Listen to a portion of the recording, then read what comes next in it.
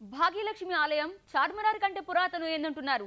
శ్రీపీఠం అధిపతి పరిపూర్ణానంద దీపావళి సందర్భంగా ఆలయంలో పూజలపై ఆంక్షల్ని తప్పుపట్టారాయన. తన్ని పోలీసులు అడ్డుకోవడాన్ని ఆక్షేపించారు పరిపూర్ణానంద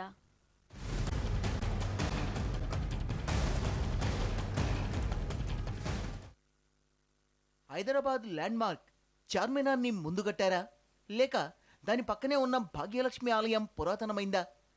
దీపావళి సందర్భంగా భాగ్యలక్ష్మి దేవాలయంలో పూజలు వివాదాస్పదం కావడంతో ఈ ప్రశ్నలు మరోసారి తలెత్తాయి. భాగ్యలక్ష్మి ఆలయం వల్లే హైదరాబాద్కు భాగ్యనగరం అని పేరొచ్చిందంటున్నారు శ్రీపీఠం అధిపతి పరిపూర్ణానంద. మూసీకి వరదలొచ్చినప్పుడు నిజాం నవాబు కూడా భాగ్యలక్ష్మికి పూజలు చేశారని వాదిస్తున్నారాయన. ఆ రాతిలోనే వెలసినటువంటిది అమ్మవారు. ఇది మనకు చెప్తుంది. అటువంటి స్థలాన్ని నిజాం పరిపాలిస్తున్నటువంటి రోజుల్లో ఒకసారి మూసి పొంగింది.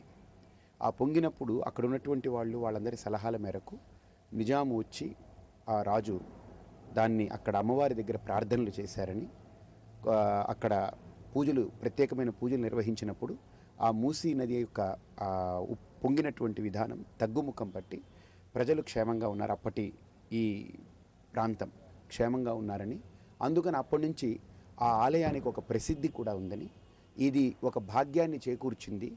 ఏ రకమైనటువంటి ఇబ్బందులు కలిగించలేదు కాబట్టి భాగ్యనగరంగా కూడా పిలవడం జరిగింది దీన్ని.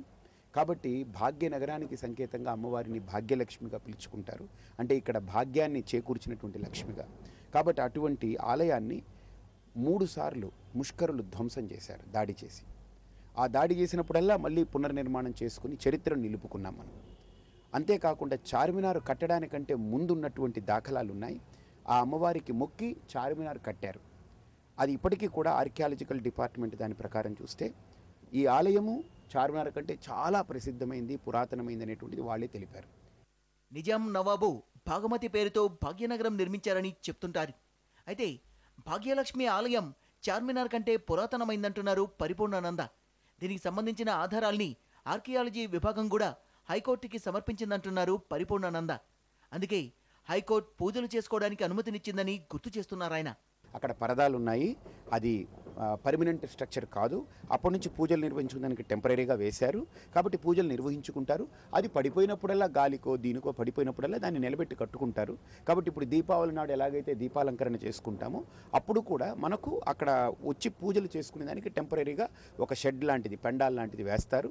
భక్తులు వస్తా నిర్వహించుకుని వెళ్ళిపోతారు అనేటువంటిది. ప్రస్తుతం ఉద్రిక్తంగా ఉన్న సందర్భంలో భాగ్యలక్ష్మి ఆలయంలో పూజలు చేస్తానంటూ సోమవారం బయలుదేరారు పరిపూర్ణానంద. గుల్జార్ హౌస్ దగ్గర పోలీసులు అదుపులోకి తీసుకోవడంతో వారితో వాగ్వాదానికి దిగారు. దీంతో ఆయన్ని గాంధీనగర్ పోలీస్ స్టేషన్కు తరలించారు పోలీసులు.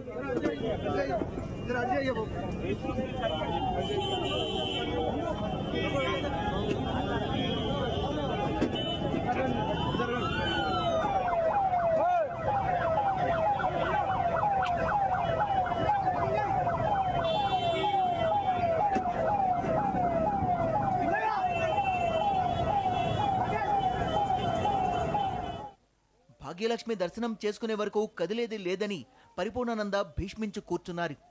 దీంతో పోలీసులే స్వయంగా ఆయన్ని ఆలయానికి తీసుకువెళ్ళారు. దర్శనం చేయించి కంచన్బాగ్ పోలీస్ స్టేషన్కు తరలించారు. చివరికి రాత్రి వదిలిపెట్టేశారు పోలీసులు.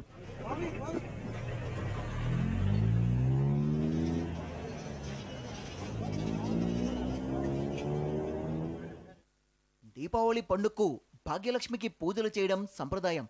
అన్ని దేవాలయాల్లో లాగే చార్మినార్ పక్కనున్న భాగ్యలక్ష్మి ఆలయంలోనూ పూజలకు ప్రయత్నించింది ఆలయ కమిటీ.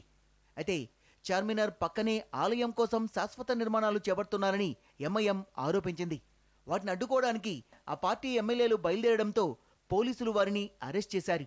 మరోవైపు అక్కడ పూజలు జరిపి తీరుతామని బయలుదేరిన బీజేపీ నాయకుల్ని కూడా అరెస్ట్ చేశారు. ఈ వివాదాల నేపథ్యంలో నాలుగు రోజులుగా పాతబస్తీలో భారీ బందోబస్తును ఏర్పాటు చేశారు పోలీసులు.